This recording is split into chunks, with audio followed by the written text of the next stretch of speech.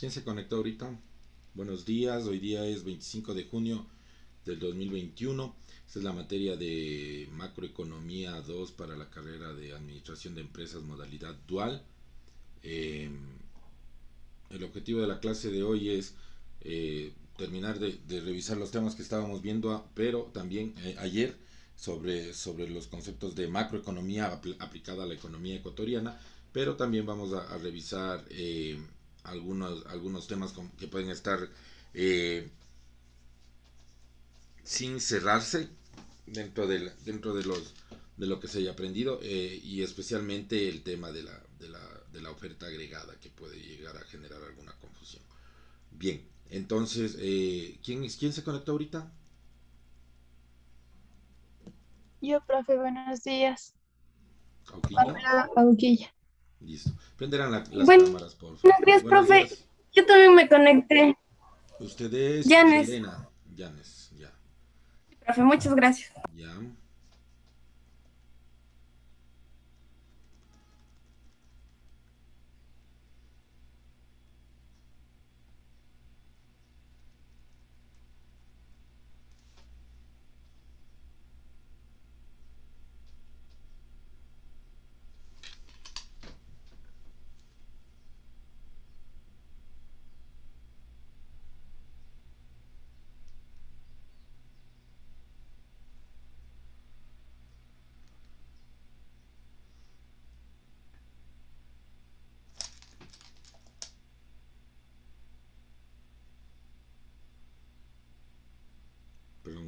tengo... Algo para preguntar. Bien.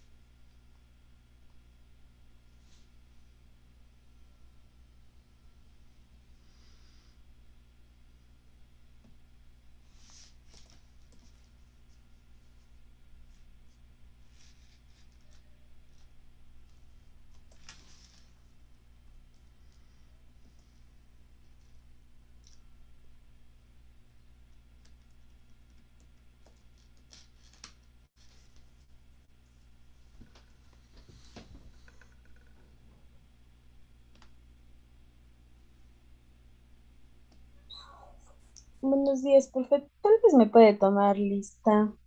Su apellido, disculpe. Paula Karina, ¿qué es? Paula Karina Gómez. ¿Perdón?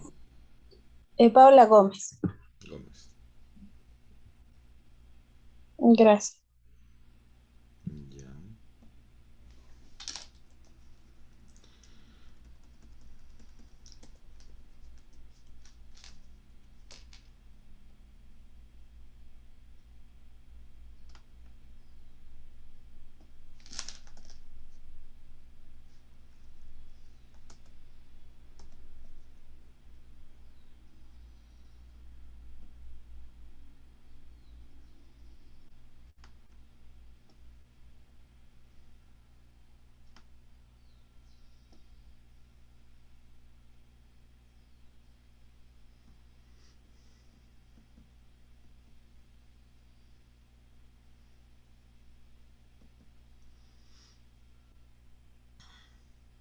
Ya, listo. Eh, Estefanía Albarracín.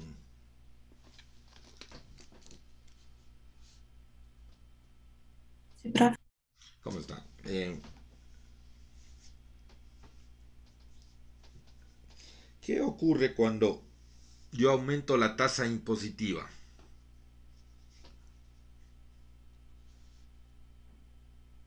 ¿Qué es lo que ocurre? cuando aumenta la tasa impositiva de un país. ¿O qué se supondría que debería eh, ocurrir?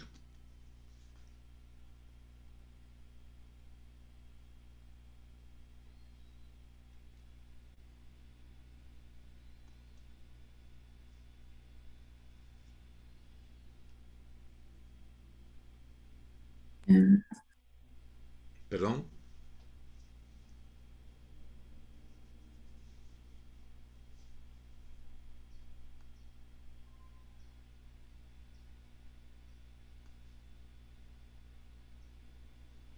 Nada. Se debe pagar más impuestos. Ya, pero ¿qué ocurre dentro de la economía?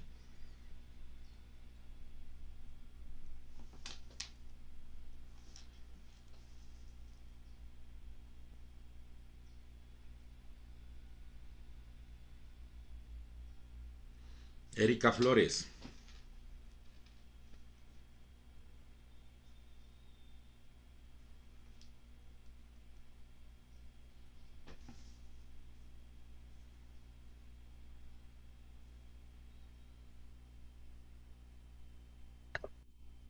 ¿Cuál era la pregunta, profe? ¿Qué ocurre dentro de la economía? Cualquier efecto económico, ¿no? De el incremento de los impuestos.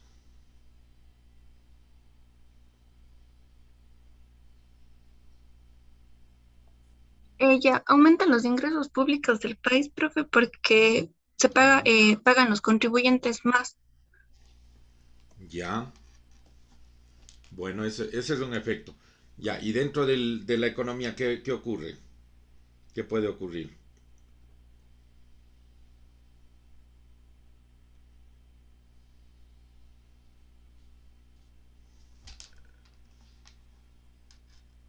Baja el nivel de renta, profe. Ya, baja el, el, nivel de renta. La, porque yo estoy también aprecia. Disminuye la producción, profe. disminuye la producción, es lo mismo que baja el nivel de renta. Eh, ya, sí, exacto. Entonces, cuando yo aumento los impuestos, normalmente tiene que bajar el, el nivel de renta. Ven, por eso hay que, hay que ir, ir reforzando en esto. Básicamente porque disminuye eh, la capacidad adquisitiva de las personas porque tienen que pagar más, más dinero. Ahora, esto podría llegar a generar alguna confusión. Recuerden que en el equilibrio, en el mercado de bienes, la renta es igual al consumo más la inversión, más el gasto, más las exportaciones netas, que en el anterior ciclo era, eran cero, pero acá que ya puedo ponerlo. Y claro, en el, en el equilibrio la renta es igual a un multiplicador que originalmente era 1 menos C pero que después le- se le puede agregar más C por T, que a la final es eh, la parte de los, del, consumo que se destina a cobrar impuestos, ¿no es cierto?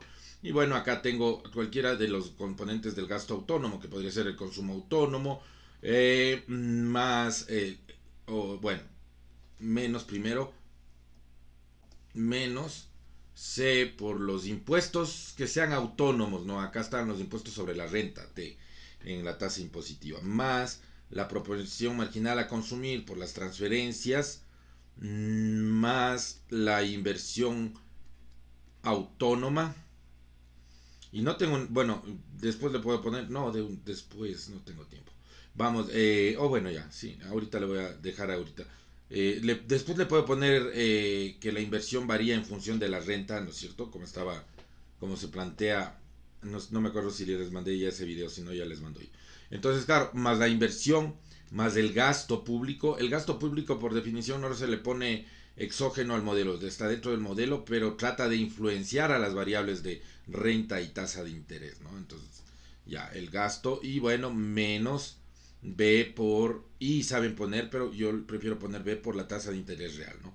B es la sensibilidad de la inversión ante variaciones en la renta, de la, eh, perdón, B es la sensibilidad de la, de la, de la inversión ante variaciones en la tasa de interés. Bien, normalmente para no estarnos complicando mucho, todo esto de acá es el consumo autónomo o las variables autónomas y lleva a ser igual a 1. Algunos prefieren hacer esto, sacar factor común acá, que multiplica a 1 menos t. Pero es lo mismo que está arriba. Por el gasto autónomo menos B por R. Entonces, claro, miren, ya tengo yo la tasa impositiva, perdón, ya tengo, sí, ya tengo acá la tasa impositiva, ya tengo los, los impuestos que se cobran. dentro de la economía por parte del gobierno. De hecho, de hecho, recuerden que el déficit presupuestario, vamos a llamarlo déficit presupuestario, o se le puede llamar superávit, pero ponerlo al revés. Pero el déficit presupuestario va a ser positiva, positivo cuando el gasto menos los impuestos más las transferencias, o sea, impuestos netos de transferencias, sean positivos, porque esto es el déficit, ¿no? Si yo quisiera el superávit presupuestario, así se le llama, ¿no? El superávit del gobierno, eh, sería los impuestos mm, menos los gastos más las, perdón, perdón, eh, impuestos menos los gastos y menos las transferencias. Ya, más o menos, ¿no? Entonces, básicamente es eso. Y en los impuestos ya estaría aquí, ¿no? Eso serían los impuestos totales. Pero yo tengo acá una tasa impositiva que le afecta al, a, la, a, la, recaudación fiscal. Esa, reca esa recaudación fiscal se va a dar más o menos cuando yo cobro los impuestos. Ahora, ¿qué pasa si yo aumento el cobro de impuestos? Digamos que aumento el cobro de impuestos solo autónomos, ¿no? Y como aumento solo autónomos, este de acá va a, a, disminuir. ¿Por qué? Porque este de acá tiene signo negativo. Si es que yo aumento los impuestos autónomos, cualquiera, un impuesto al valor en cualquiera, entonces va a disminuir la capacidad. ¿Por qué? Porque la gente tiene que destinar más dinero a pagarle al gobierno. Entonces, claro, algunos me dicen esto de acá, eh, eh, o algo, algunos terminan diciendo, bueno, esto de acá se debería compensar con este de acá. Primero, no es inmediato, ¿no? El cobro de impuestos se hace hacia el periodo siguiente. Después, claro, esa es la mayor razón, ¿no? Después, el, el impacto que tiene el gasto público dentro de la economía eh, no es el mismo que si yo le dejo a la gente consumir. Pongámosle, pongámosle por, eh, por, por, por, la, por, las razones que fueran del gobierno, pero básicamente desde un por término, desde un punto de vista económico, es más fácil eh, que el mismo agente que genera el ingreso luego pueda gastarlo en la economía, porque el gobierno, y eso es solo netamente económico, estrictamente económico, economicista si quieren, el gobierno va a demorarse entre lo que recauda y lo que, y lo que efectivamente gasta, y normalmente ese gasto se vuelve ineficiente, ¿no? Digo, netamente, desde un punto de vista netamente economicista. Después vamos a, o después vamos a hablar ¿no? Básicamente el gobierno es necesario en cualquier, en cualquier economía. Todo el mundo necesita un, un gobierno y el gobierno que genere algún tipo de gasto y que esté incluido, bueno, eso lo voy a poner de una vez, que, genere algún tipo de gasto para la construcción, por ejemplo, o contratación de construcción, que es más, más específico. Eso es, eso es obvio. De, por ejemplo, todo el mundo lo acepta, de las escuelas, colegios, hospitales, inclusive construcción, inclusive y administración de ciertas cosas. ¿no? Hay algunos autores o algunas personas que, que no, no están de acuerdo, pero cierto nivel de administración de algunos recursos que no son de mercado eh, deberían ser administrados por el gobierno. Pero además, esa administración, a esa administración no necesariamente hay que exigirle un, un resultado al final del año tienen que ser eficaces en su actuar porque tienen que cumplir o cubrir las necesidades para las que se formaron, pero no tienen que ser necesariamente eh, sostenibles económicamente, ¿no? No necesariamente tienen que ser sostenibles en el tiempo eh, económicamente.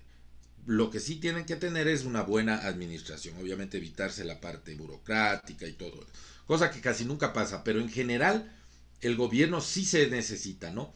Eh, para la construcción, me falta una vez aquí, para la construcción de carreteras, de hospitales, pero también para la administración de ciertos servicios que no se considerarían de mercado, ¿no? La seguridad social, en teoría, aunque acá sí está eh, separado el gobierno de la seguridad social, la seguridad social o puede ser el seguro de desempleo o puede ser la atención de trámites mismo del, del, gobierno para, por ejemplo, la, obtención de permisos o para el, la otra, la otra para la que estaría eh, eh, el gasto que es para la regulación.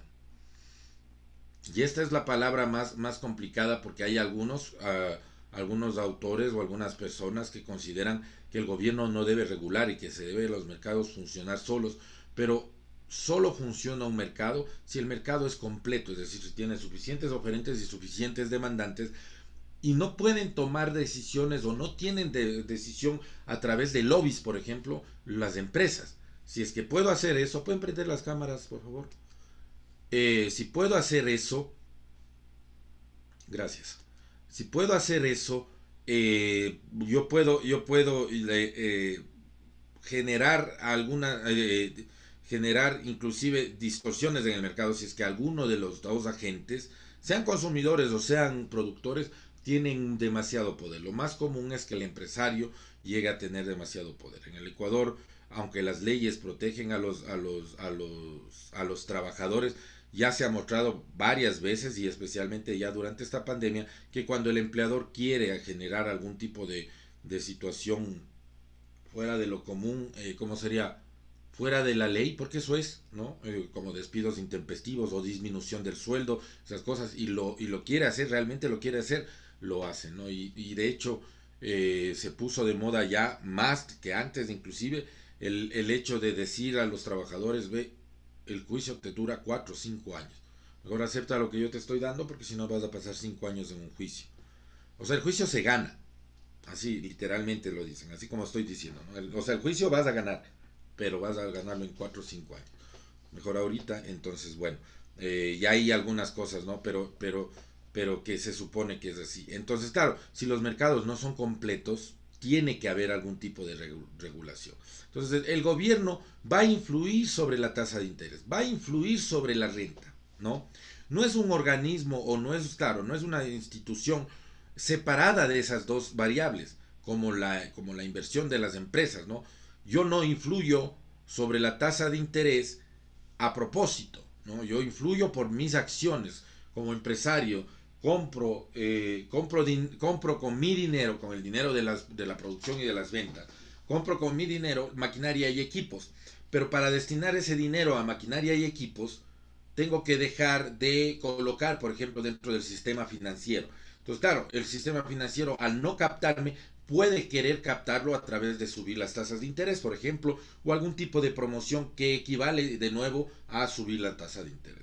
La tasa de interés para los, la, colocación, no me refiero, ¿no?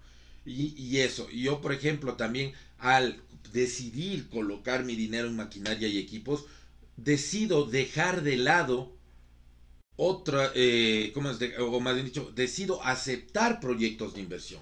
¿Qué quiere decir? Que menos, menos, menos, eh, eh, claro, que la tasa de interés del banco, la tasa de interés ahí sí, la tasa de interés eh, pasiva eh, no fue lo suficientemente atractiva para mí. Y así, entonces, claro, pero yo, yo lo hago, no lo hago de manera directa, en cambio el gobierno sí lo hace a través de la regulación, ¿no? Obviamente la construcción y administración de ciertas cosas podría generar cierta, y esa era, iba a decir, esta no es tan, no, no es tan importante, pero sí, puede generar siempre competencia dentro de los mercados. Cuando yo genero competencia dentro de los mercados, lo que estoy haciendo es que se regule a sí mismo los mercados, ¿no? Yo tengo que regular a los mercados, tengo que generar o puedo llegar a generar competencia dentro de los mercados y eso podría generar una regulación dentro de los, mercados, ¿no? La completa intervención, así como la, la, nula regulación, eh, tampoco es casi por nadie aceptada, ¿no? La completa intervención del gobierno, a tal cual la nula regulación es casi casi que nadie la, acepta, ¿no? Algún tipo de regulación, algunos están a, favor de, una, de bastante regulación y algunos están a favor de poca regulación, ¿no? Pero nula regulación, nada, qué sé yo, si por ejemplo decimos que los liberales se basan en las teorías de Adam Smith, Adam Smith decía que por lo menos el gobierno tiene que dedicarse al gasto en, en, defensa, eh, educación, construcción de carreteras y casi seguro estoy de la administración de justicia, alguna cosa de esas edades, ¿no? Entonces, claro, son unas cuatro cosas por lo menos que el gobierno debe dedicarse. Con los años ha habido más, obviamente, la seguridad social, la salud pública, que, que ya estaba ya, pero, pero ya definida completamente. la salud pública, miren, en el Ecuador el, gobierno se lava las manos, no, se, no destina casi nada de fondos a lo que es la salud pública, destina a otras actividades que, que sirven, bueno, obviamente para el cobro de impuestos y todo eso, pero en general, dígame, Nicole Contreras. Profe, en este sentido, ¿cree que cuando fue, cuando Rafael Correa estaba de presidente, sí destinaba bastantes recursos a lo que era salud, porque siempre alababan en ese aspecto? Pues sí. A ver, esa es una idea equ- equivocada que tenemos, ¿no? Le, decían, a ver, hay una cosa que sí es cierta, el gobierno de Correa, claro, por las razones que fueran, su precio de petróleo, lo que sea, él sí, miren, les voy a dar un ejemplo. El mismo gobierno de, de- de Palacio, eh, que tendría una línea parecida a la de Correa, el mismo gobierno de Palacio, y antes de eso, el gobierno de Lucio, me parece que era antes, sí, el gobierno de Lucio, claro, porque Palacio era el vicepresidente de Lucio. Y el mismo gobierno de Lucio, cuando subían los precios, ellos tenían lo que le llamaban el fondo, un fondo, no me acuerdo cómo se llamaba, pero, pero era un fondo de, de apoyo a la producción o a la, a la investigación. Las dos cosas en realidad. Cuando subía el precio del petróleo, se destinaba ese fondo por los ingresos extras del petróleo a la consecución de proyectos dentro del país, ¿no? Y se hacía una feria de proyectos. Y en esas, en esas, no sé si exactamente en esos proyectos, esa feria de proyectos, o en, o en general, porque había otra cosa también que pasaba, la SPOL recibía rentas directamente del gobierno, ¿no es cierto? Rentas que eran del petróleo. De hecho, no estoy muy seguro si, si tenían un pozo petrolero a nombre de ellos o tenían algún tipo de regalía por parte del, la parte del petróleo. O la otra es que ellos eh, recibían los fondos de este fondo petrolero. Lo cierto es que eh, la SPOL, y no estoy diciendo nada que no está en, en la- los documentos, tenía inclusive antes del gobierno de Correa más tierras de lo que tiene ahora.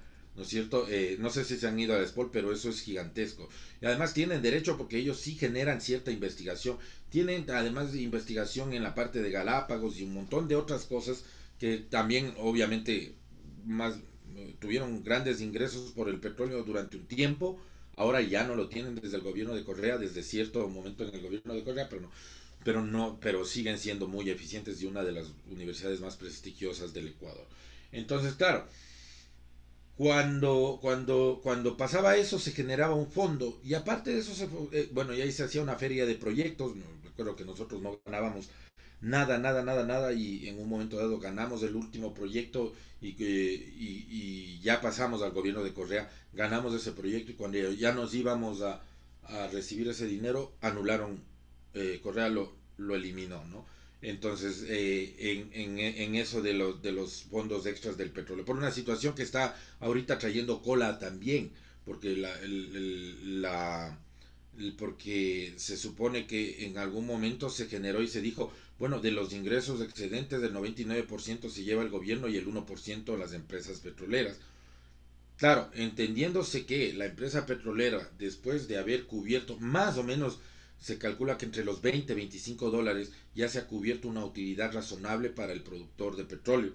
Y sobre eso sería ganancias extraordinarias. Sobre las ganancias extraordinarias es que se cobraba el 99%. Se entiende que no es el único país que, sea, que hace eso, pero también se entiende que durante el gobierno de Lenin se dejó de lado cualquier tipo de defensa directa del país, ¿no? Entonces se dejó de lado o al parecer se descuidó, no, ya, ya ahí sí ya no sé, porque están saliendo unos, no sé si ya están publicándose, pero bueno, hay unos, unos chats, mm, ya digo, yo no, no voy a decir sobre el contenido de los chats, porque ni, ni, ni se supone que sé, ni, ni se supone que tengo que, que difundir eso completamente, ya los medios de comunicación lo difundirán, pero básicamente, no, ya creo que está difundido. El presidente hablando sobre co cobros, sobre construcciones, que después además él mismo las, las echó por el piso, eh, sobre cobros en efectivo, ¿no? De dinero, ¿no? Ya no, ya hasta ahí nada más, pero básicamente se generó ahí un, un, montón de cosas. Entonces, claro, el gobierno dejó de lado esa, esa, esa, esa demanda como queriendo que las demandas se pierdan y en efecto se perdió recién una. Eh, listo. Entonces, claro, usted me dice, si, si Correa se dedicó a la salud, es bien ambiguo, ¿no? Porque no dedicó dinero a la salud. Vean, lo que terminó haciendo, o sea, todo lo demás sí, sí, cogió el dinero de lo, de lo que cobró de extra del petróleo, generó construcción de, de, escuelas, eh, algunas con, con, sobreprecios, algunas hechas sin mucho análisis, por ahí podremos entenderlo. Yo no pienso que el presidente haya cobrado directamente, al menos no, porque yo digo, si con todo lo que le estaban persiguiendo ya, ya le habrían encontrado, ya se le habría encontrado el, el dinero directo de él. Puede ser, por ahí, lo que, lo que ya digo que, que, parece estar en este chat, entiendo yo que es real, del ex vicepresidente, del después presidente, diciendo que ese dinero tiene que ser pagado en efectivo. ya digo, puedo estar equivocado, no estoy acusando de nada. Pero, pero puede ser también que el presidente lo haya hecho. Pero sí, si bien tiene cierto, cierto, eh, cierto rango de, de nivel de vida no es tan alto como, como lo que se supondría que habría robado. Ahora, puedo yo estar equivocado y en realidad sí, lo, sí, lo, sí haya recibido pagos en efectivo, pero al menos yo digo por el nivel de, de, persecución que se le dio, yo pienso que ya se le debió haber encontrado alguna, alguna, alguna cosa, ¿no? Como, como por ejemplo de Glass, a los hermanos de Glass sí le encontraron un incremento en el patrimonio considerable durante, cuando él fue vicepresidente, ¿no? Eh, y entonces, claro, cuando yo, yo, yo, yo hago eso, genero algún tipo de corrupción. Ahora, en el área de la salud se generaron y se construyeron hospitales, eso es, eso es innegable. Muy probablemente por, por, la, por, la, por, la, por los sobreprecios algunas personas obtuvieron bastante dinero. Pero por el lado de la salud pública como tal, no mejoró tanto. Lo que se hizo es traspasarle directamente al Seguro Social ese gasto, que además ahora está, miren, los traspasos no son solo del gobierno de Correa, también son del gobierno de Novoa, del gobierno de, de, de, de, de, ah, Yamil Mawad, de Novoa, de, y de gobiernos anteriores. Desde el principio, cuando se plantea la seguridad social, se pone el principio de solidaridad para el seguro campesino, el cual está bien, se entendería, se entiende además, si es que está bien dirigido además. ¿No? Entonces, el principio de solidaridad me, indica que si un campesino eh, debería ser así, ¿no? Tiene, tiene bajos recursos, una persona que, que, contribuye más en dinero a la seguridad social necesariamente tiene que ayudar, ayudarle, ayudar a contribuir en eso dentro del, dentro de la, de la, de la misma seguridad social. Entonces ahí se, se anula la posibilidad de una cuenta individual. Luego se hace cargo de, de, de, los, de los hijos de los, de los afiliados, solo hasta los 12 años. Luego en el gobierno de Correa también le dicen, no, ahora de los 18 años. Eh, luego de las damas de casa, pagando el mínimo. Luego de, de las personas con enfermedades catastróficas, eso pasó algo, algo bien grave, yo digo, porque es bien grave. Le obligaron por ley, no, y eso además se le obligaba, pero por ley, no, no era así nomás, ¿no? Entonces, eh, se le obligaba a hacerse cargo de las enfermedades, enfermedades catastróficas, pero se decía que iban a ser financiados por, por el ministro, Ministerio de Finanzas, le iban, a, le iban a pasar fondos por el concepto de eso. Y en algún, en algún momento, yo entiendo que todavía no cobran eso y no creo que lo vayan a cobrar. Cuando quieren cobrar al Ministerio de Finanzas, el Ministerio de Finanzas les exige un reglamento que ellos no tenían. Y el reglamento, eh, al no tenerlo, Miren lo que yo, yo a veces, a veces, a veces termina pasando ese tipo de cosas, ¿no? Estoy hablando de este, de este cambio de ley cuando le obligan a hacerse cargo de las, de las enfermedades catastróficas, digamos del 2002, por ahí, 2000, creo que estaba todavía el gobierno de Novoa, pero más o menos. Le obligan a, hacer, a hacerse cargo de las enfermedades catastróficas y luego durante el gobierno de, de Lucio Gutiérrez, eh, ah, perdón, ya, cuando quieren cobrar, no sé si durante el gobierno de Lucio, Lucio Gutiérrez mismo, pero cuando quieren cobrar, el gobierno les exige un reglamento. Y el, y el IES dice, no tenemos el reglamento, entonces no les puedo pagar. Y no les pagaron, y no les pagan, ¿no? Entonces, ese tipo de cosas desfinancian al, al, IES. Em, inmediatamente por el gobierno, ya del gobierno de Lucio Gutiérrez, se transforma el trabajo en horas y, vean, en, esa, en ese momento las empresas cogían y mandaban al, se suponía que todo estaba dentro del, mismo, de la misma, del mismo cobro. El IES, como ya le habían hecho lo de las enfermedades catastróficas, mm, se mandaba por parte de las empresas a los, al personal que se enfermaba, ¿no? De, por horas y el IES les negaba la, la asistencia alegando una falta de reglamento. En esa época todo el mundo pensábamos que el IES se había, se había transformado, o se había perdido el, norte, pero en realidad esa era la, ha sido la razón, había sido la razón, ¿no? el, hecho de que no les estaban reconociendo y no les reconocen, al menos en, esa, en ese tramo, hasta ahora no se, le, no se les reconoce el, el, el gasto que se generan en las enfermedades catastróficas y no, no, no, porque por ley no pueden y no se les ha negado la atención a los, a los pacientes con enfermedades catastróficas. Este último mes, estos últimos meses están sin, sin proveerse, se entendería que es porque, o sea, no se acepta porque a la final son enfermedades catastróficas, no pueden pararse los tratamientos, no son tratamientos pues, baratos, eh, pero el IES no, no, no ha comprado o no, no se ha proveído. Se supondría, digo, se, se, entendería que es por, porque estaba acabando el gobierno. Ya digo, el gobierno de Lenin se, se, lavó las manos en cosas que a veces algunos consideran inhumanas, pero en realidad lo hizo. Eh, y no se compraron ciertos, ciertos medicamentos y ahorita estaban, no sé si esta semana ya lo hicieron, eh, pero en todo caso están en eso. Entonces, claro el gobierno de Correa no se hizo tan, tanto cargo, sino hizo lo mismo que hicieron otros gobiernos. se liberó de ese espacio de gasto público y se lo traspasó al, al IES, que es el que cobra el, porcentaje a empleadores y a, empleados, ¿no es cierto? O a trabajadores que les cobra en el seguro social. Entonces, eh, se lavó las manos por ese lado. Ya digo, sí, se construyeron eh, escuelas, eh, hospitales y todo, sí, pero no se llegó a... Y en general, por ejemplo, ya al último, inclusive después de una consulta popular, pero después de eso, el gobierno, para dar todas esas cosas o para exigirle todas esas cosas al, al Seguro Social, pagaba el 40% de las aportaciones del gobierno, me parece, pero era bastante, el 40% como por ley. Ellos consideraban eso un subsidio, no era un subsidio, era una compensación por todas las cosas que se dedicaba el, el, el el Seguro Social a darle gastando al gobierno, ¿no?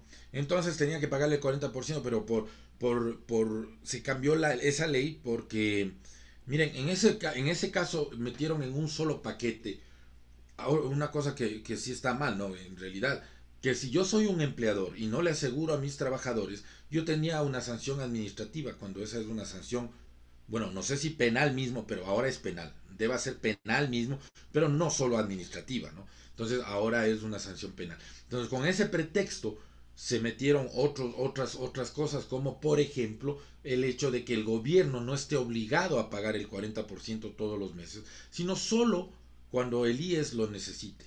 Y hasta ahora no lo han necesitado, según el seguro, el, el IES sigue debiendo, al IES sigue debiéndole el gobierno más de 800 millones de dólares por lo menos, eh, pero debe ser más de mil ya acumulado con la deuda más de mil millones. Ahí se frenó el incremento de la deuda que tenía el gobierno por el Seguro Social, pero aún así, eh, eh, o sea, lo que se hizo durante el gobierno de Correa es seguir poniendo más clavos a, la seguridad social, ¿no? a tal punto que durante el mismo gobierno de Correa se tuvo que cambiar el porcentaje de, que destinaba de los aportes a la seguridad social como tal y a la salud y el porcentaje es alto ahora a la, a la, salud. Claro, se cambió y luego se estaba regresando, o por estos meses ya se debió haber regresado, pero ya se afectó a, la, a, a las mensualidades de, de, los, de, los, de los afiliados jubilados, ¿no?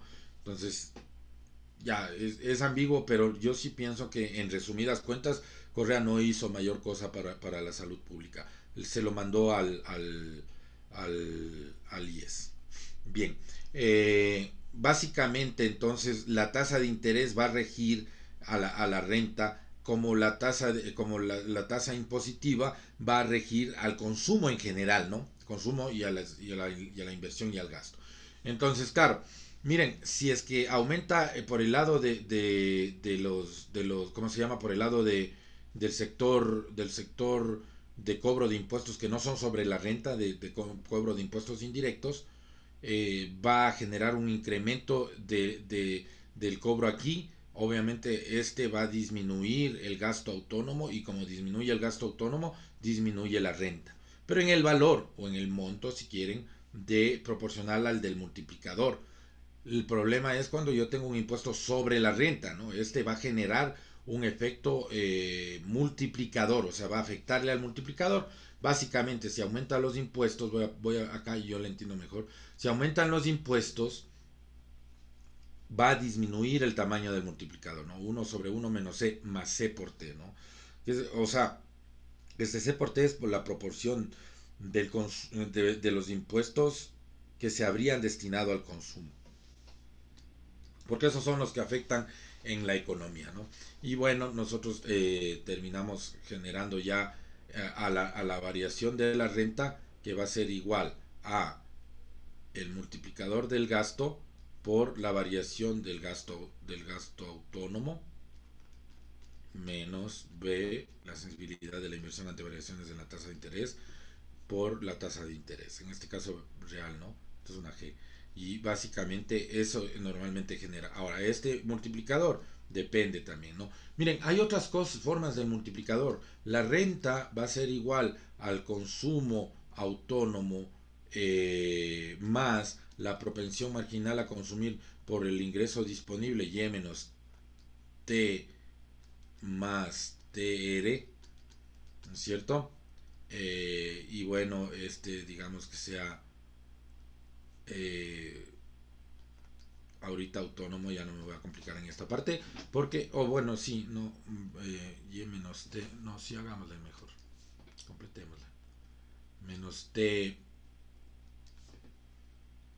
autónomo más la parte de los impuestos, perdón, eh, sí, sí está bien, algo me está pasando aquí. No, sí está bien. Entonces, eh, más transferencias. Y bueno, este de aquí le voy a poner así.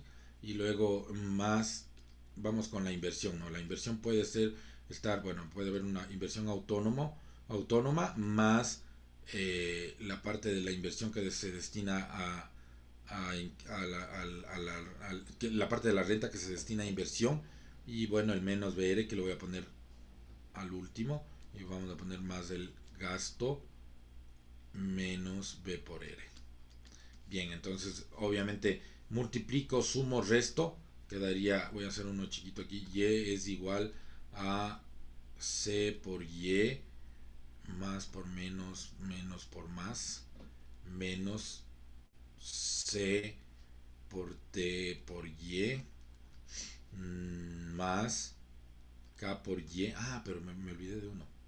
K por Y. Quería poner ya todos los que podrían ingresar acá.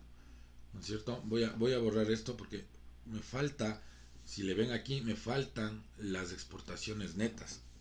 Y es más, voy a, voy a ponerle acá. Entonces tengo una economía abierta. Recuerden que las exportaciones, como vimos ayer, son una función de, de la renta en el extranjero, las exportaciones, y de la renta nacional para las importaciones. Entonces, dejémosle autónomo a las exportaciones. Pero las importaciones, como ven, está en función de la, de la renta nacional. Entonces va a ser menos.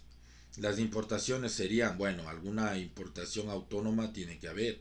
Pero acá va a haber una importación en función de... Eh, de eh, déjenme ponerle RO a esto así más o menos de RO, pero bueno, de, de la parte de la renta que se destina a las importaciones, siendo RO un valor obviamente entre 0 y 1. Y eh, un valor entre 0 y 1 y eh, que, que, que, implica que es la parte, la por, proporción o la parte de la renta que se destina a las importaciones como tal. Y eso es cuando varía en función de la renta. Hay una variación en función del tipo de cambio, ¿no es cierto? ¿Qué pasa si aumenta el tipo de cambio? las importaciones disminuyen. Si aumenta el tipo de cambio, o sea, se devalúa, al, haber las importaciones va a disminuir. Bueno, voy a ponerle el tipo de cambio nominal, más o menos, porque hay un libro de Bajo Monés, Díaz Bajo y Monés me parece que es, eh, que es, que, que, ¿sí les he mandado ese? ¿O les he mostrado? El libro de Díaz Bajo Monés.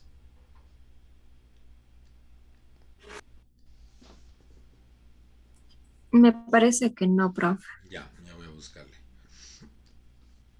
Entonces, bueno, básicamente es, es, este de acá y entonces acá yo tendría que agregarle más por menos menos, menos ro de y, ¿no es cierto? Y ahí quedaría esto. Entonces quedaría más el consumo autónomo menos la los cobros de impuestos autónomos más la propensión perdón C por los cobros de impuestos autónomos más la propensión marginal a consumir por las transferencias más la inversión pero la parte autónoma eh, mmm, acá me faltó perdón me faltó el menos BR porque no le puse cuando estaba con la inversión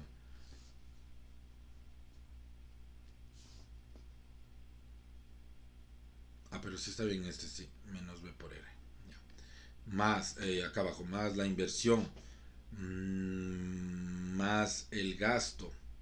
Ahora más las exportaciones netas, o sea, exportaciones menos importaciones autónomas. Eh, menos E. Menos por más, más, dígame. Y menos B por R. Alguien levantó las man la mano, pero creo que... No, profe, me equivoqué. Ah, ya, listo, gracias. Entonces, listo. Entonces, acá quedaría, miren, ya quedaría así. Y es igual a, perdón, sí, a 1 sobre 1 menos C más C por T menos K y más, si estoy más bien, estoy más, sí, sí está bien, y más ro, este ya es un multiplicador completo, multiplicado por todo el gasto autónomo, no me voy a complicar en esa parte, menos B por R, incluido lo de la tasa de, del tipo de cambio, menos B por R, listo, y ya, esto, esto ya sería el multiplicador ajustado, bien, por ese lado eh, estaríamos estaríamos ya completos con esto, con este modelo de la parte de los impuestos. El otro objetivo, les decía, era entender cómo funciona la oferta agregada. No sé si hasta aquí tienen alguna pregunta.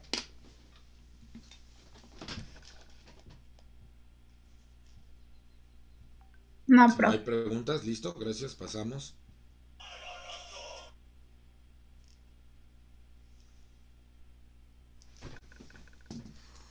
Bien, entonces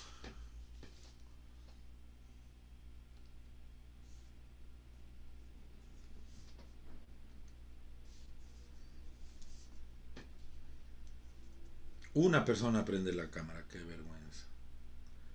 Hay otra compañera que está en negro y bueno, alguien más. Ya, ya tenemos dos. Listo. Este es el, ah, el tema 8 no más abierto. Les mandé ya no las dos presentaciones. Déjenme. Ah, no, no importa. Acá, acá está abierto, pero acá tengo abierto los dos. Bueno, el, el, el, el capítulo 7 ahorita, ¿no? Y ya no, no, voy a hacer presentación ni nada, sino directamente. Miren, en el 7 nosotros tenemos eh, obviamente una, una, gira por el mercado de trabajo. Acá no vamos a hablar. En el Ecuador nosotros, o sea, vamos a hablar, no vamos a hablar de la Unión Europea. Eh, Europea. Nosotros también tenemos una tasa de actividad bastante fuerte, que es el cociente entre la población activa y la población en edad activa.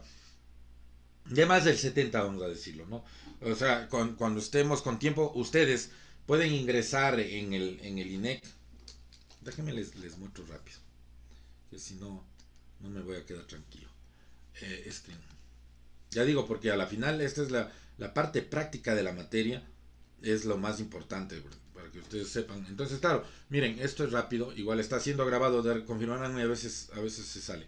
Entonces, yo voy a entrar a una página que se llama Ecuador en cifras.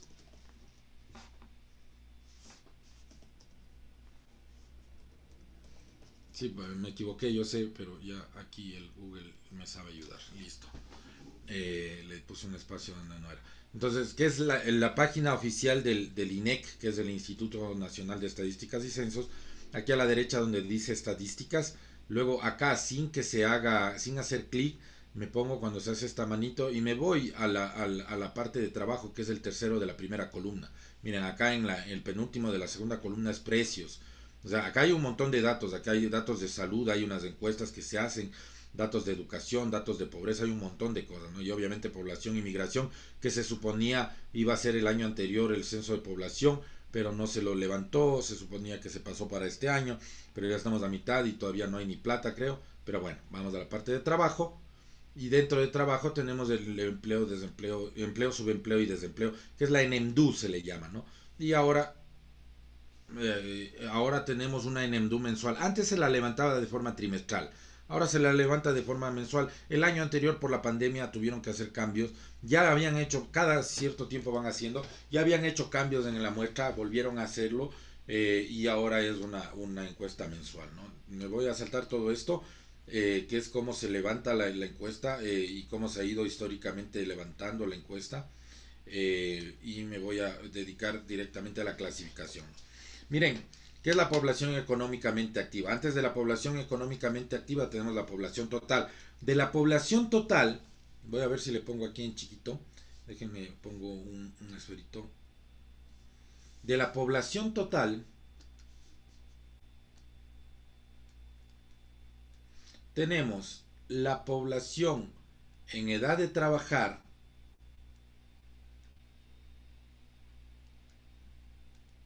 que básicamente, y de hecho no voy a poner población en edad de trabajar, sino una población que está, pongamos X aquí, es, esto es como subíndice, ¿no? X, que es mayor, de, mayor o igual a 15 años y menor a 65. Obviamente esto depende porque las mujeres, por ejemplo, se jubilan creo que antes, no estoy seguro si todavía lo hacen, antes era así. Y luego entonces tenemos el resto de la población, que sería la población, eh, perdón, la población en edad de trabajar solamente, perdón, perdón, solamente es la mayor a, a 15 años. Ahí me pegué una confundida fea, ya van a ver por qué. La mayor a 15 años, ¿ya? Mayor o igual, de hecho, a 15 años. Entonces la población en edad de trabajar. El resto de la población es la población menor de 15 años.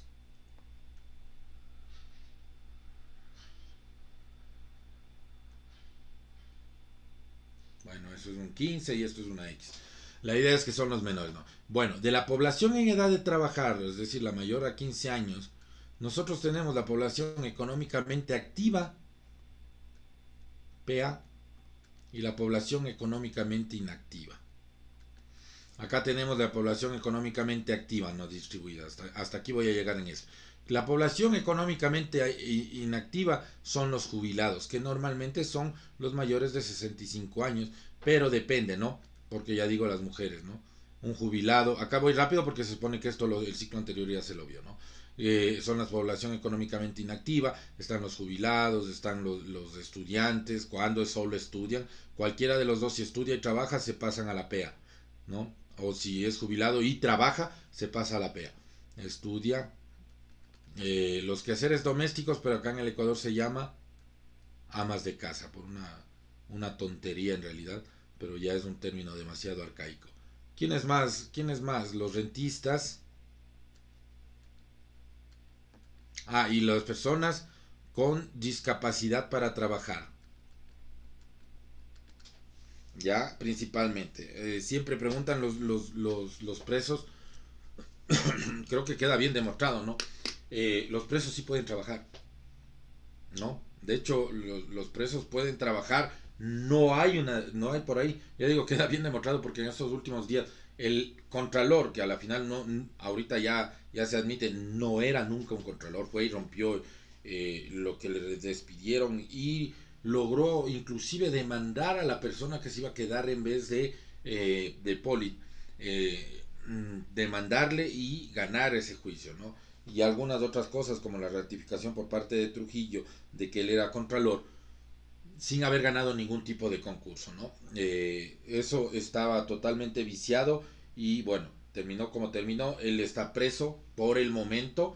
Obviamente tendrá que eh, la, tendrá que probarse la culpabilidad de él, pero mientras tanto él está despachando, ¿no? A este otro, por ejemplo, el, el que está también privado de la libertad, que es el defensor del pueblo, que en una borrachera hay hasta video de todo eso. Obviamente el video no es juzgar, ¿no? es ya cuestión de la ley, pero él está preso y está despachando desde la cárcel. Entonces, a los privados de la libertad no, no se les prohíbe eh, trabajar, por lo tanto no deberían estar aquí, por eso es que el INEC no lo pone. Y la PEA está dividida como está planteado acá, ¿no? Tenemos de empleo, desempleo, del empleo es adecuado, subempleo, otro empleo no, no pleno, no remunerado, no clasificado, desempleo abierto y desempleo oculto. Mm, no sé en cuál estoy, en el número de diapositiva, pero me imagino que es esto. Y estos son los resultados. No sé qué le pasó, ya se colgó. Ah, es que estoy escribiendo. Y estos son los resultados de la población, población con empleo, ¿no? De la población económicamente activa, la composición de la población total, ¿no?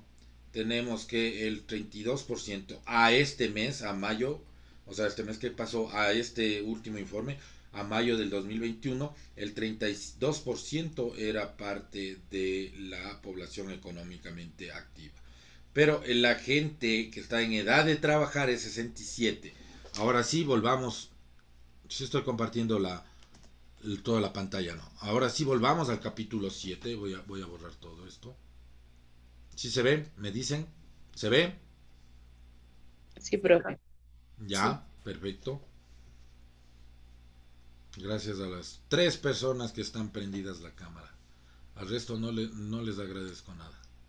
Listo. Entonces la población activa es la suma de las personas en edad de trabajar de 15 a 65 años. Ya, bueno, las personas que no están trabajando ni buscando trabajo son inactivas. Ya vamos a ver cuántos están esos.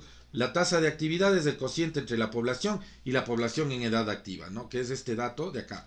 Población total y la población en edad activa. Es decir, los, los, los, este, este, este es el, el dato de la población total. ¿No? Eh, la población en edad de trabajar, nosotros tenemos la población económicamente activa, que sería el 25.3, y la, al revés, dígame. Bueno, ahí dice total rural, es solo del sector rural. me he pasado entonces. Sí, voy a regresar. Gracias. Es que estaba yo acá. A ver, no sé qué pasó ahí. Yo puse, yo puse esto. Y estaba aquí, ¿no es cierto? Ah, lo que pasa es que me he ido para abajo. Ya, listo. Muchas gracias. Ve ahorita pasó lo mismo. A veces se me, se me activa un botoncito aquí y me va bajando. En el Ecuador, entonces, ahora sí, total nacional, gracias, sí. En el Ecuador, entonces, acá sí, ahí sí. Los menores de 15 años es el 28.9 de la población, el 71.1 son la población en edad de trabajar. De la población en edad de trabajar, el 33% es la población económicamente inactiva y el 66% sería la población económicamente activa. Del 66%, el 93.7 tiene empleo y el 6.3 está en el desempleo, ¿no? Eh, yo sigo bajando eso. Ahí sí. Y esto era lo que quería ver. Ve, ya se fue de nuevo a la 22. No sé por qué se va tanto. Pero bueno, ya volvimos. Entonces, la población en edad de trabajar en mayo del 2021 es de 12 millones 654 mil, ¿no es cierto? La población económicamente activa son 8 millones estimados, ¿no? La población con empleo son 7 millones, casi 8 de nuevo, ¿no? Eh, el empleo de, el, eso, el empleo adecuado es eh, apenas 2 millones 600 mil, de, de 7.9 millones a 2.7 más o menos millones eh, de, personas con empleo adecuado. El subempleo está en 1.9. El empleo no, no remunerado es 0.9. El otro empleo no pleno es 2.213. ¿Estoy bien? Y es un montón, ¿no? El otro empleo no pleno. No están asegurados o no tienen alguna forma eh, legal. Entonces, miren, noten, solo entre estos, de los, de los, de los 7 millones con población 7.9 millones, 8 millones, con población con empleo, al menos cuatro, cuatro casi, no, cinco, al menos eh, alrededor de 5 millones no tiene, de los 8, no tiene alguna, algún empleo, ¿no? Eh, este es el empleo no clasificado, este es raro, ¿no? Este, ¿Tiene empleo? Sí. Eh, ¿Está contento con su salario? Sí. ¿En qué, ¿En qué sector trabaja? No le voy a decir. Entonces, bueno, son poquísimos, ¿no? Eso puede ser que tengan algún tipo de, situación ilegal, ¿no? Pero no, no, no, no, no necesariamente. El desempleo eh, es de 531 personas, ¿no? En, el Ecuador el desempleo no es un problema, ¿no? El problema es esto de acá, el, subempleo. O algún tipo de, bueno, el subempleo porque es alto, pero el empleo, el, algún otro empleo no pleno, ¿no? Entonces, eh, vamos con la tasa de participación que está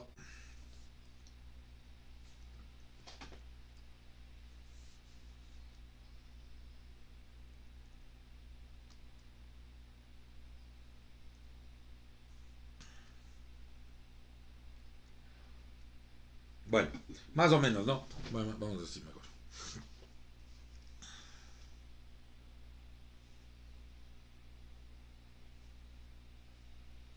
No, ya me rindo. Igual, bueno, darán una revisada, porque al final, eh, igual ya, le, ya hemos visto, se habrá visto en el ciclo anterior, pero denle una revisada, por favor, para, para poder avanzar, si no, no vamos a acabar. Se puso medio, medio mal mi, mi pizarra. De hecho, voy a desconectarle y después le voy a... La población activa, bueno, es eh, ya aquí esto, esto pasó rapidísimo, la tasa de actividad, la tasa de desempleo, esto es para Europa, la tasa de actividad por sexos, eh, el desempleo en el Ecuador tenemos por sexo, eh, y luego el desempleo en Europa, y bla, bla, bla, ¿cierto? Esto, todo esto tenemos ahí. y aquí hablan del desempleo de larga duración. ¿Qué es el desempleo de larga duración? En Estados Unidos se supondría que es del 9.9. Nosotros no tenemos una, sí tenemos un, un dato que se pregunta que cuánto tiempo se ha estado desempleado. Pero bueno, acá el desempleo de larga duración es el mayor del problema en el desempleo como tal, ¿no? Según el, este dato, en Estados Unidos el 9.9% del total de desempleados en el 2007 es mucho menor que en Europa, obviamente. Eh, sería el desempleo de larga duración. Usted dice, bueno, ¿desde cuándo está buscando trabajo? Más de tres meses, bueno, ya se considera bastante. La duración media del desempleo en Europa es más de un año, ¿no? Que, eh, que en Estados Unidos, que es de cuatro meses. Ya, los datos han empeorado drásticamente en los últimos años. En España el desempleo de larga duración se ha multiplicado por cuatro desde el inicio de la crisis de, se refiere a la crisis del 2008, llegando al 52.2% en 2012 empleo de larga duración, de total de desempleados, obviamente. ¿Cómo se determinan? Que esa es la parte importante. ¿Cómo se determinan los salarios? Los salarios se fijan normalmente por la parte de, una negociación colectiva y con acuerdos bilaterales entre la empresa y el trabajador. En el Ecuador se define, por ejemplo, el salario mínimo entre la empresa y el trabajador. No se ponen nunca de acuerdo, en, nunca, nunca se han hecho, se han puesto de acuerdo y es el gobierno el que define ese valor.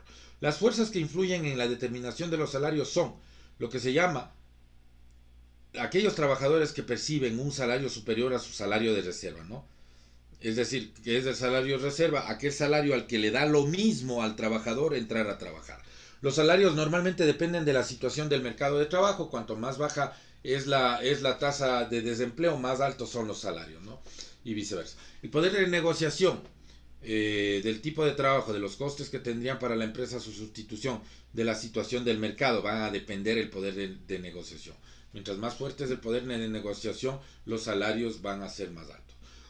los economistas llaman teorías de los salarios de eficiencia a las teorías que relacionan la productividad o la eficiencia de los trabajadores con el salario. Estas teorías también sugieren que los salarios dependen tanto del tipo de trabajo como de la situación del mercado eh, tipo de trabajo como, de la situación del mercado de trabajo.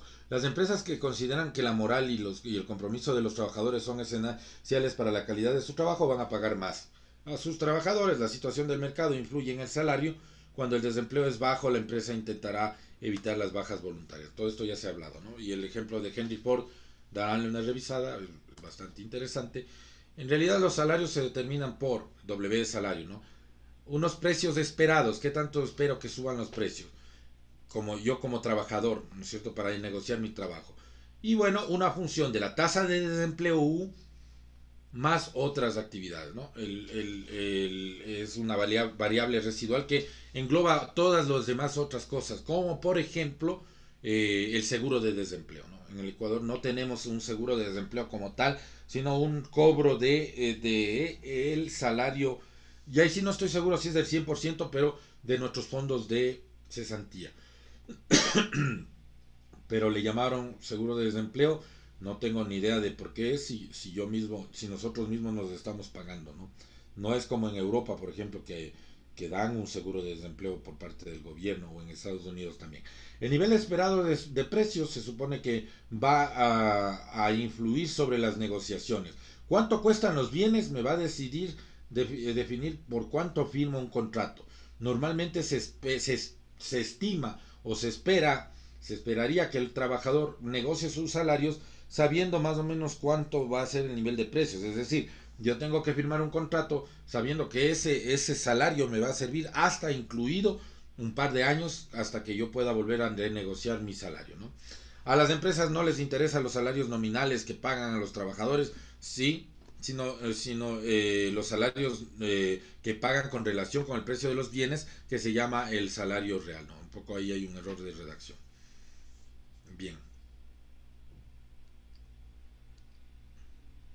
La tasa de desempleo, ya lo ya, ya vemos. Y aquí está lo del seguro de, de desempleo. Darán una revisada completa de esto. Están solo datos. Datos. Es más, les mando para, para que averigüen y tengan ustedes anotado por ahí. Eh, qué es, cómo se, eh, qué es el seguro de desempleo en el Ecuador, ¿no? Y es igual. Bueno, listo. Entonces la función de la producción estaría acá, ¿no? Y es una función de A, que es el, la productividad por N, que es el, el, el, empleo como tal, el número de trabajadores, de hecho. Y se asume que el, la productividad es igual a 1, ¿cierto? Por lo tanto, Y es igual a N por el momento. Por otro lado, P es igual a 1 más mu. No confundir con tasa de desempleo. Mu es eh, el grado de regulación que tiene el, el país, ¿no? La disminución de mu baja los precios y aumenta los salarios reales. ¿Ya? Bueno, básicamente esto es una función de, eh, del grado de regulación, ¿no? De los productos.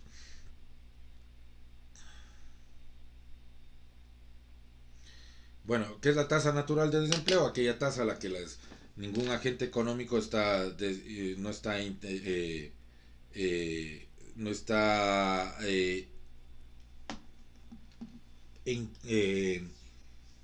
no está descontento con estar de desempleo sino simplemente está en un nuevo proceso para conseguir empleo. ¿no?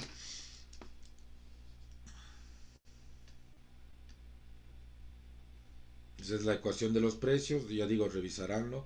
Eh, nada, que si yo tengo 1 más mu por W, paso este multiplicar a dividir, tengo este de aquí, si quieren esto es W sobre P, salario real, le invierto a los dos y me queda 1 sobre 1 más la tasa de rentabilidad o de, o de, claro, que es la productividad marginal, pero a la final el MU es el, la tasa, el grado de regulación que hay sobre los productos. ¿no?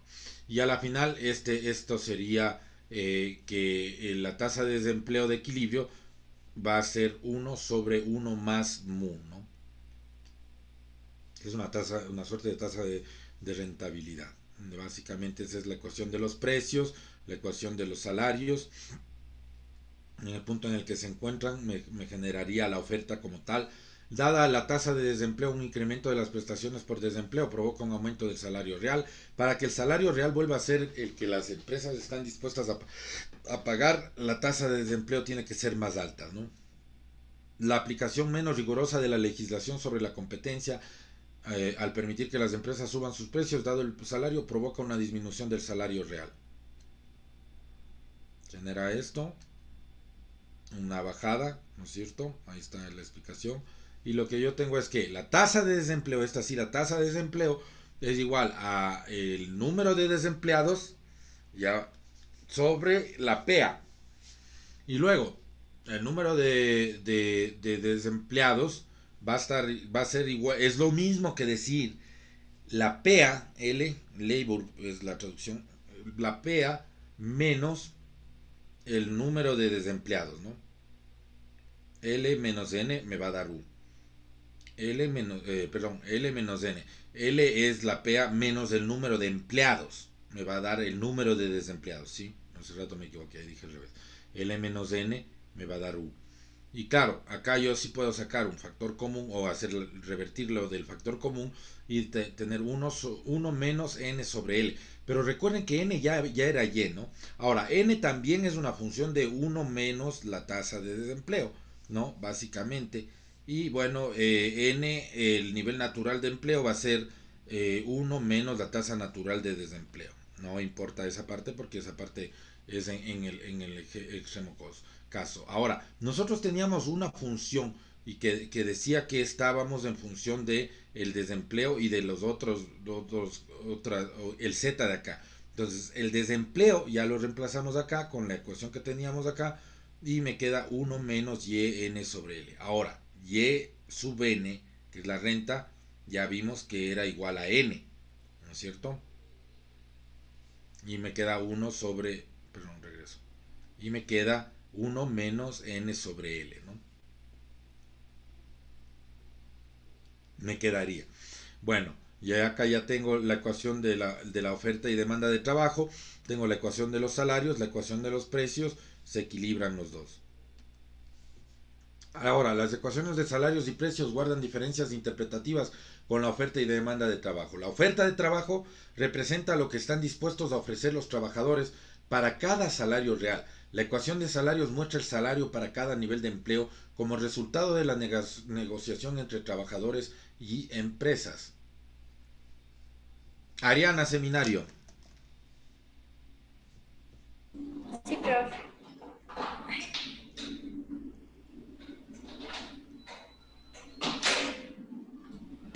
la ecuación de los salarios muestra el salario para cada nivel de empleo como resultado de una negociación entre trabajadores y empresas. ¿Cuál es el, la forma en la que se define aquí en el Ecuador el nivel de salarios? ¿Cómo se define aquí el, nivel de salarios? Mediante el salario básico unificado. Ya, ¿y cómo se define ese, ese, ese salario básico unificado? Será tal vez eh, de acuerdo al nivel de la economía de que, que existe tal vez entre los empresarios, porque por ejemplo, si el nivel de economía actualmente, por ejemplo, en la pandemia, ha bajado en gran magnitud, los empresarios no pueden, eh, por ejemplo, el Estado no puede eh, poner un salario básico unificado más elevado. Por eso me imagino que tampoco Lenín Moreno eh, elevó el salario básico unificado el año pasado. Ya, yo, yo les dije al paso al principio de la clase, ayer también dije, eh, ¿cómo, van a un Consejo Nacional de Salarios, se ponen de acuerdo entre empresarios y, trabajadores, y como no se ponen de acuerdo, va y te decide, decide, el gobierno. En última instancia, sí, es el gobierno el que, el que define ese, ese nivel de salarios, ¿no? Eh, la oferta de trabajo representa lo que está dispuesto entonces a ofrecer los trabajadores para cada salario real. Cuando yo tengo un salario mínimo, normalmente yo defino con los, con los con lo, con, por parte del gobierno. Juan David me iba a preguntar algo. Eh, solo como comentario, ¿es cierto que en norma está que tiene que subir obligatoriamente el salario básico cada año? No, lo que, lo que, lo que no puede es bajar. O sea, no puede bajar en el, en, el, en, el, en, el, en el supuesto de que fuese a bajar, va a pasar lo que terminó pasando durante el gobierno de, de Lenin que dijeron, de como tiene que bajar el salario, porque ha bajado, porque nosotros tenemos deflación. Es algo que, que, no se logra entender todavía, se sigue sin entender lo, la gravedad del asunto de la deflación en el Ecuador. O sea, nosotros ya llevamos algunos años en las que, algunos meses, y ya ahora últimamente se volvió persistente, ha habido deflación en la economía. O sea, ningún economista, porque no les interesó el momento en el que, en el, que el presidente eh, se peleó con, con, Correa, con el grupo de Correa, a, a, ningún otro, ni periodista ni economista del mainstream, le interesó la gravedad del asunto de que haya deflación en la economía. No, estaba muy bien, llevábamos años de una inflación moderada, pero pasar a una deflación constante, porque en algunos meses puede haber deflación, pues es normal dentro del ciclo normal de los negocios además. El ciclo del, del, negocio es, es, bien, bien definido en algunos negocios, ¿no? Qué sé yo, Navidad me disparo las ventas, de marzo a, de marzo a, o de enero a, a, a junio más o menos, digamos que estamos en vehículos, casi no se vende nada, y así. ¿no? Eh, voy saliendo con, el ciclo normal del negocio. Entonces, si algunos meses tengo deflación, no pasa mayor cosa. Pero si constantemente estoy teniendo, o pasa que tengo deflación anual, es gravísimo, ¿no? Entonces, claro, como hubo deflación de precios, lo que no pudo hacer el gobierno es bajar el salario mínimo. Pero dijo, se mantiene por esta razón constante. No es la única razón. Miren, hay una, hay una cosa que también eh, se tiene que entenderlo. Los empresarios lo tienen bien claro. La única forma de que haya realmente un incremento del nivel de salarios es a través del salario, eh, del incremento del salario por incremento de la productividad laboral, ¿no? Ni siquiera la productividad de capital genera un incremento de los salarios. Una cosa que, que, que a veces es difícil de entender, pero, pero que, que así funciona dentro de la, la cabeza del empresariado, ¿no? Ya digo, cuando, cuando cuando Lazo en la campaña termina prometiendo que va a subir a 500 dólares y claro, al paso le sale Jaime Neboda a decir que son 500 dólares, pero 25 dólares anuales durante cuatro años. Está bien, pero ya cuando gana, ya tiene que empezar a cumplir las cosas, ya no es tan sencillo. De hecho, ya digo, había un Twitter, no le pude tomar captura, pero bueno, era, era genial porque él decía, ahora sí le voy a ir a pedir a mi jefe que me suba a los 500 dólares. Bueno, primero sí, sí se dijo bien, en realidad, ya digo, aunque Lazo al principio solo dijo de 400 a 500, eh, le, Nebot le, le, dio arreglando y le dijo, no, son 25 anuales, pero ya, digamos, eso de los 500, le salió un empresario y le dijo, bueno, eso solo va a pasar en el momento en el que en la economía, en el Ecuador, incremente la productividad marginal del trabajo, ¿no? Le dijo en otras palabras, pero básicamente le dijo eso. Si aumenta la productividad marginal del trabajo, yo puedo aumentar el salario. ¿Qué quiere decir eso? O sea, ellos, ellos, ellos manejan ese concepto porque no manejan el concepto de salario mínimo. El, salario mínimo, eh, el salario mínimo, no lo hablamos todavía, ¿no? Ya. El salario mínimo fijado de esa manera puede generar distorsiones en el mercado. Miren, voy a, voy a, voy a cambiar a una pantalla de pizarra, ¿no es cierto? Ah, cierto. Me olvidé de poner.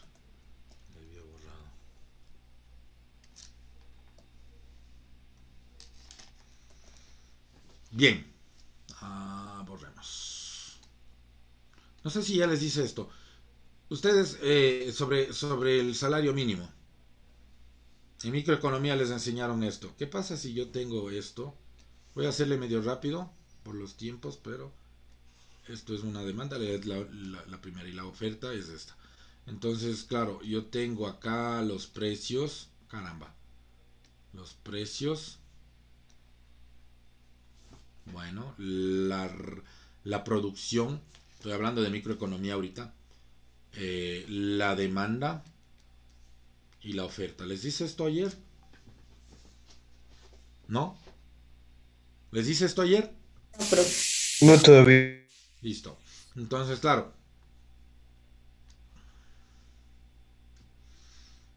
Este es el precio de equilibrio, ¿no? ¿Qué pasa si yo me pongo un salario mínimo y el gobierno lo fijara acá. ¿Qué se supone de sus clases de microeconomía? Este es el precio de equilibrio, ¿no? Y acá ponen fijado el salario mínimo. Reducción de, de empleo. Claro, acá hay desempleo. Esto es lo que nos dicen en la, en la teoría del, de la microeconomía, ¿no es cierto? Básicamente me están diciendo que si es que hay una, una fijación por acá por encima. Ahora, ¿qué pasa si yo lo pongo por acá abajo? Si yo lo pongo por acá abajo, no pasa nada. No pasa nada necesariamente. Porque todas las negociaciones van a estar sobre esto. Miren, nos asustan con esta parte de acá, la cual es verdad, ¿sí? Va a generarse un desempleo. Lo que no están diciendo es que esto tengo que hacerle para cada sector. No siempre está en ese equilibrio. Y de hecho, miren, en una economía desarrollada, fijar un salario mínimo está mal, es complicado, ¿sí? En una economía desarrollada no necesariamente se necesita un salario mínimo. ¿Por qué? Porque de hecho voy a utilizar un término medio arcaico, pero es, las fuerzas productivas ya están desarrolladas y por lo tanto pueden generar una mejor distribución de los salarios en la misma, es decir, le dan tienen un poco de mayor de poder, mayor poder de negociación el trabajador porque tiene mayor nivel de formación, ¿no? En la parte productiva. Entonces, fijar un salario mínimo, por lo general se va a fijar acá, pero en la economía desarrollada no necesariamente, perdón, en vías de desarrollo o subdesarrollada no necesariamente va a pasar. Probablemente lo vamos a fijar por acá. Miren, nosotros fijamos un salario, un salario relativamente bajo, pero además se lo hace en función de cuánto cuánto puede consumir normalmente y debe consumir normalmente un hogar. Y eso, en eso en teoría, humanamente no debería haber discusión, no. Económicamente se puede discutir, pero humanamente en teoría no debería haber discusión. Así es que el salario mínimo no vamos a asumirlo como esto o como esto, sino si es que implica generar desempleo, si es que eso implica que se genere desempleo o lo que se llama el contrato por debajo de la mesa, que probablemente se hace bastante, no probablemente, se hace bastante en el Ecuador, eh, no implica que necesariamente se genere demasiados, demasiadas distorsiones dentro de la economía. Porque fijar un salario en un, eh, en un sector donde el salario de equilibrio está por encima del salario mínimo, es decir, en aquellos, digámoslo, porque el salario mínimo va dejando, aunque sí es verdad que a, a, veces solo, de hecho desde hace muchos años, y esto también lo inauguró Correa, solo suben el salario mínimo. ¿Sí? Si yo ahorita yo les digo que antes, en realidad, cuando subía el mínimo, subían todos los mínimos sectoriales. Ustedes ya ni saben qué es eso, pero habían unos mínimos sectoriales. De hecho, eh, tiene, tenían pues un cuaderno amarillo ya rompiéndose en el Seguro Social sobre los mínimos por cada una de las actividades que se realizan en el Ecuador. ¿Cuál es el salario mínimo que deben cobrar, eh, por ejemplo, un economista, un ingeniero en sistemas, un ingeniero comercial? había esos salarios, ¿no? Y claro, el subir el salario mínimo aumentaba los salarios mínimos de todos los sectores.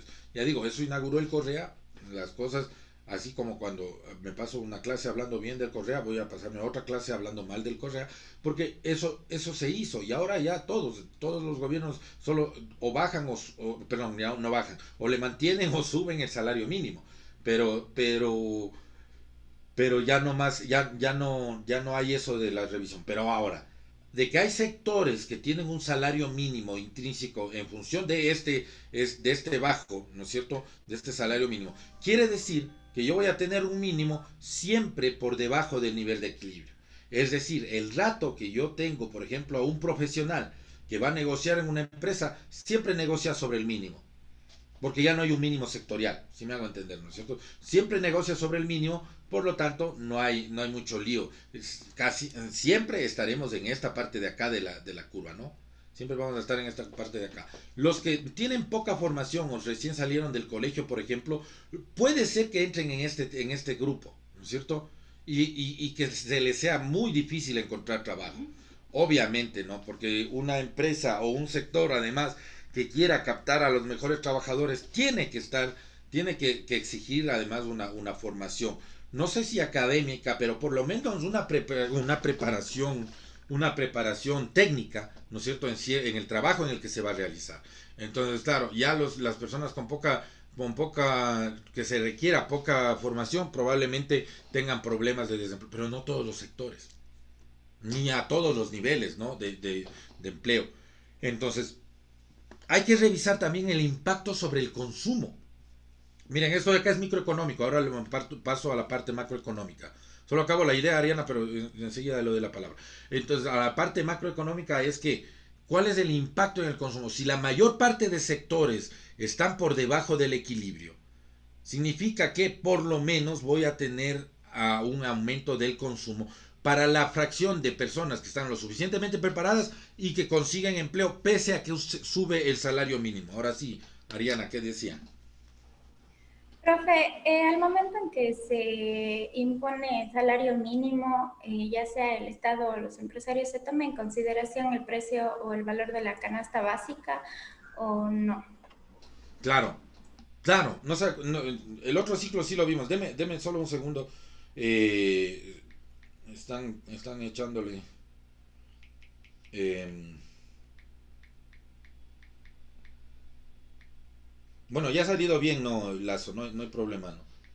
Están dándome esas noticias, pero ya sabíamos. ¿Cuántos días tiene? ¿Cuatro de recuperación? No sé cuándo vuelve. Pero bueno. El próximo miércoles dijeron que vuelve, profe. Pues esto está rápido, ¿no? Ya listo. Entonces verá. Bueno, yo hasta donde sé, al volver igual no es que he hecho mucho acá, ¿no? Y creo que hasta donde sé ya llegué a, lo que estaba mostrándoles. Con todo regreso. Regreso a la presentación mm, de la NM2. Aquí está. Entonces, em, yo no sé que solo en este, en este se queda así aplastado. En los otros estaba bien ya. Bueno, voy a ver si con el ratón.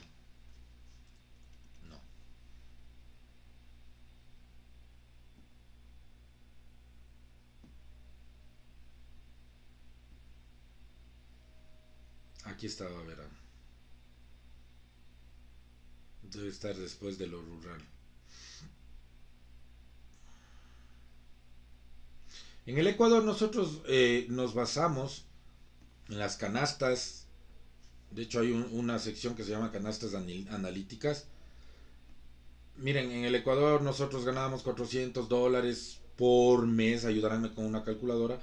Más los dos décimos son 400 eh, por 14 para 12.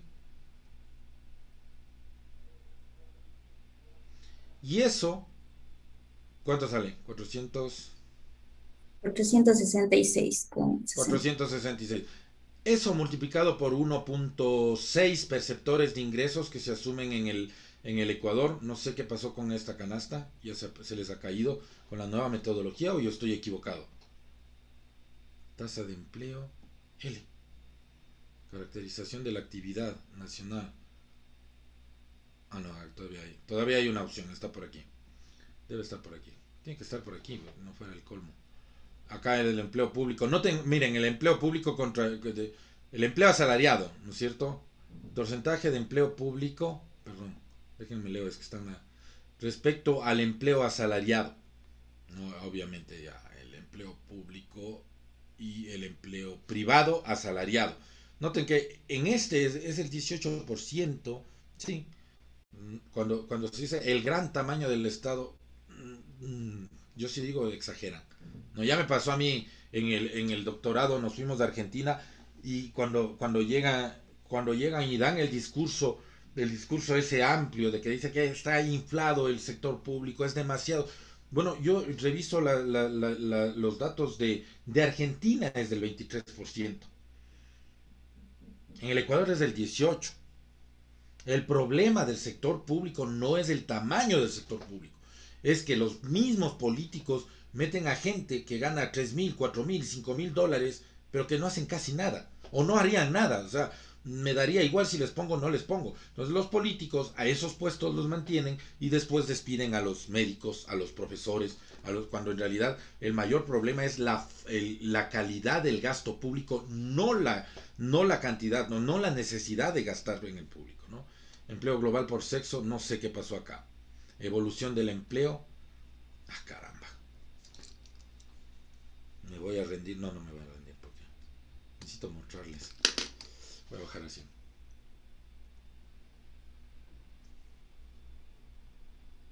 Aquí tienen que estar las canales. Ya listo. Ese valor que le salió, multiplíquele por 1.6 perceptores de ingresos. Ya les dije. No, algo está mal esta cosa. Voy a bajarme el, PDF. Sí, salió 746. Ya, digamos, 746. Eso es lo que gana un hogar estimado en el Ecuador, ¿no? Un hogar tipo asumiendo que una persona gana el básico y la otra punto 6 del básico, que no se equivoca porque en realidad el salario promedio es menos que el salario mínimo, ¿no? Entonces, miren, voy a hacer un new share y voy a poner el PDF, fuera el colmo que aquí también me pase lo mismo. Vamos a ver si no me pasa lo mismo. Empleo, empleo de... Lo peor de todo es que me mato buscando aquí y antes estaba aquí y ahora ya no está aquí. Porque ya le vi, ya, ya vi en el, en el, ¿cómo se llama? En el, en la, en el índice y no está. Participación, empleo bruto, tasa de desempleo, evolución del empleo, población con empleo, esto es del el urbano, empleo bruto, tasa de desempleo, este es del rural, no me interesa el rural, no me interesa ni el urbano ni el rural, el empleo nacional, hombre-mujer, empleo público y, y contra respecto a asalariado, caracterización de la condición de actividad nacional, empleo adecuado por sexo, subempleo según sexo, composición de la tasa de subempleo, caracterización de la condición nacional, tasa, tasa de desempleo por tipo, condiciones de empleo, horas de trabajo a la semana, sector formal, informal, y se acabó. Estos jóvenes ya. Yo no sé, cambian la metodología y se les olvida las cosas, pero las cosas que les afectan. Bueno, ya vamos a ver. Pero en general la canasta acá en el Ecuador más o menos vale unos 700. Unos 700 un poco menos, más o menos nos sobran unos 40 dólares, más o menos, de lo que ganamos ahora, unos 30, 40 dólares. Entonces, en teoría estaría así. Ahora, cuando lo define así el, el, gobierno, no puede bajar ya el salario. Ya, ya se puso en 400, se queda en 400.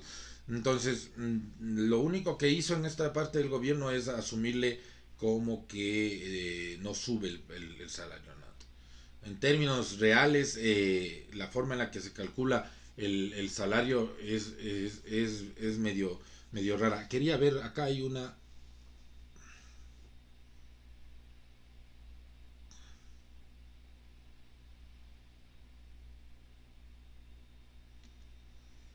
Ya no sé qué hacer con esto, guambras. Han ido a eliminar eso del análisis. Pero hay un, hay por ahí, tiene que estar las, las, las canastas analíticas, le llamaban. Metodología, documentación, multimedia, información 2007, publicaciones analíticas. Pero ya no están presentando, claro, ya no están presentando anualmente, mensualmente. Antes era trimestral. Bueno, ya nada, dejémosle así. Más o menos eso, ¿no? Entonces, claro, lo que nosotros ganamos y versus lo que cuesta la canasta básica. Me da mal genio porque, porque ellos eliminan esas cosas y después eh, ya dejan de analizar y nadie les dice nada. Ellos eliminan nomás.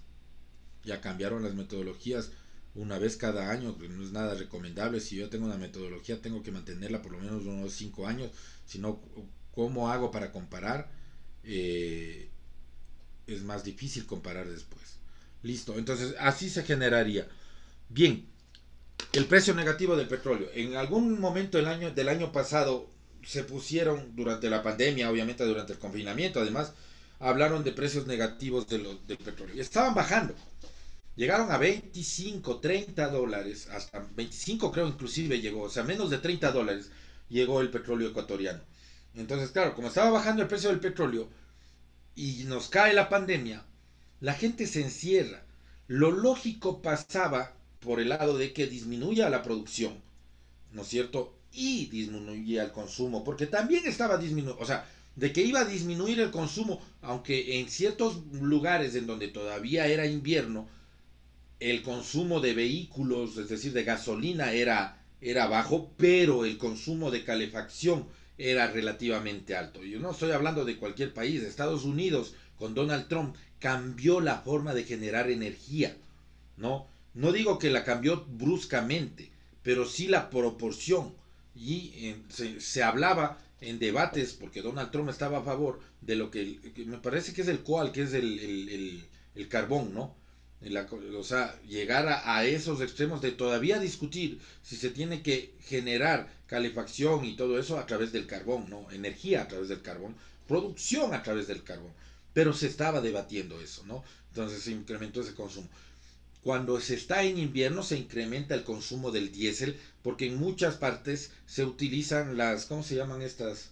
Las máquinas de, de, de, de generación de energía con diésel porque se congelan o porque no es tan fácil, eh, claro, generar otro tipo de energías. Entonces, Pero aún así, claro, el consumo de vehículos y la disminución del consumo de ciertos productos hace, hacía prever que debía haber una disminución de la demanda de petróleo.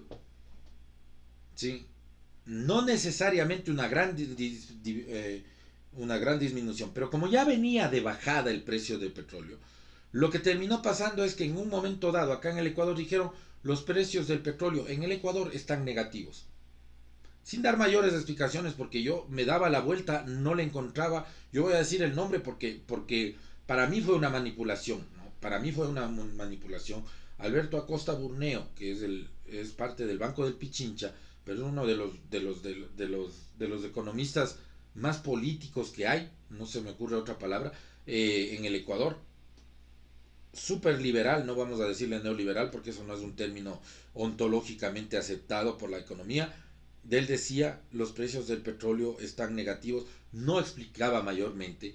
Por ahí decía por algo, por, por en algún momento lo de los forward, y en algún momento explicó, en una de las entrevistas, explicó algo de esto, ¿no? Los precios del petróleo no estaban negativos. Sí, los precios del petróleo no estaban negativos. Lo que estaban eran los forward de petróleo. Recuerden que un forward en divisas es una forma de protegerse del riesgo de tipo de cambio. Un forward en petróleo también es una forma de protegerse de un riesgo, que es el riesgo de las fluctuaciones del precio en el petróleo. ¿Sí? Entonces, claro, yo tengo un forward, lo coloco, los futuros que les llaman, ¿no? Yo lo coloco en un, en un, en un lugar y le digo, ¿sabe qué? Ya está por vencer su forward. Vendrá a llevarse su petróleo. Voy a ponerle así el ejemplo, ¿no? Vendrá a llevarse su petróleo.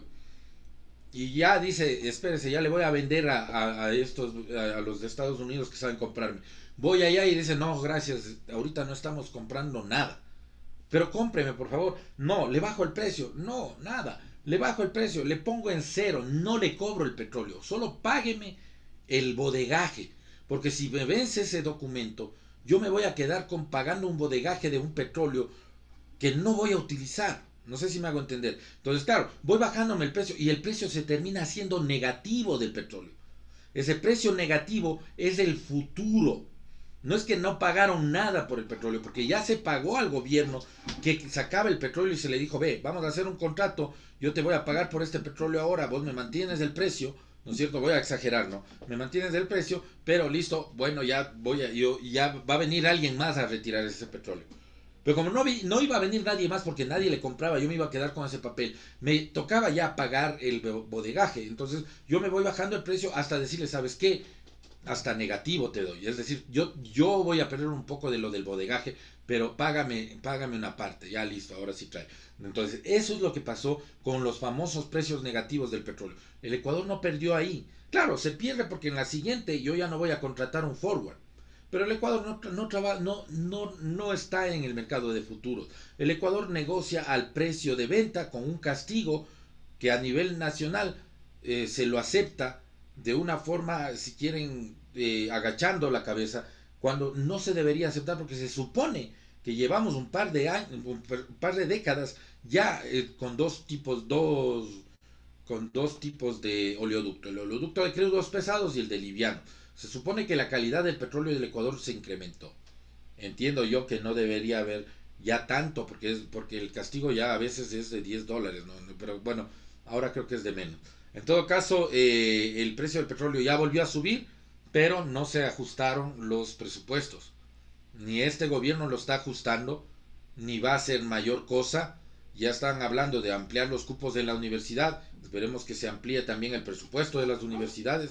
Sí, eh, lo cual me parece bien que se aumente el cupo de las universidades porque las universidades públicas deben captar. Obviamente, eh, ya dijeron que no debe haber un examen de ingreso eh, dijeron al principio, ahora dicen que no han dicho eso, sino que tenga libertad de elegir la carrera. No entiendo yo dónde, si está clarísimo en los tweets y en las entrevistas que dijo Lazo, dijo clarito que él no, no se iba a obligar a los estudiantes a tener que escoger tan pronto una, una, una universidad a la que ir para ver si es que le aceptaban. No, no hablaba nada de carreras, ¿no? Yo estoy de acuerdo con que tiene que haber algún filtro, pero el filtro tenía que venir desde antes.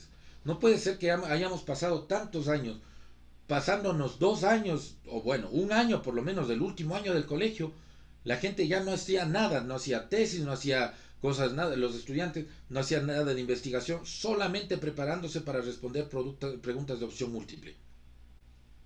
Y ahora decir, ¿sabe qué? No deje nomás, ahora vamos, o sea, yo no estaba de acuerdo con la eliminación del, del, del, del examen de, de ingreso, pero sí una adaptación real, es decir, que sea parte de un proceso, qué sé yo, es un proceso de ingreso a la universidad, es un propedéutico, que esté unido a un propedéutico previo en el colegio, pero que no les elimine y no se les quite a los estudiantes de los colegios el desarrollo de sus actividades normales. No puede ser posible. Había colegios privados que se pasaron todo el último año, se olvidaron de tesis, se olvidaron de mandarles al, a la, a la premilitar, a la cosa, a, a, los servicios sociales. ¿Por qué? Porque tenían que dedicarse a aprender a responder preguntas de opción múltiple, porque es una propaganda para el colegio, obviamente. Es decir, vea, todos los que quisieron entrar en la universidad, que se graduaron acá en mi colegio, entraron. Pero no está bien, porque se disminuyó la calidad de la educación en esa parte. Creo yo, en esa parte. Pero bueno, en todo caso, ya, ya ni estarán esperando que les vayan a sus, a sus hijos a dejar entrar. Ustedes ya entraron, como sea, aunque sea pataleando. Listo, muchas gracias, nos vemos. ¿Cómo es? ¿Cuántas, cuánto, la, próxima semana tenemos clases? Sí. Ya, perfecto. Yo ahí tendrán, me avisarán, ¿ya tienen horario para exámenes? No todavía. Cuando les pidan, porque siempre les piden, me ponen al último, por favor. Si nosotros tenemos jueves y viernes clases, me ponen viernes del examen. Si es que el examen, los exámenes, o sea, si es el, día, el día último, ¿no? no me matarán de las hieras porque ya, ya, ya están avisando, avisados, porque a ustedes les preguntan, no les ponen el horario. Ustedes primero deciden. Verán que yo sí sé cómo funciona de ustedes. Listo, muchas gracias.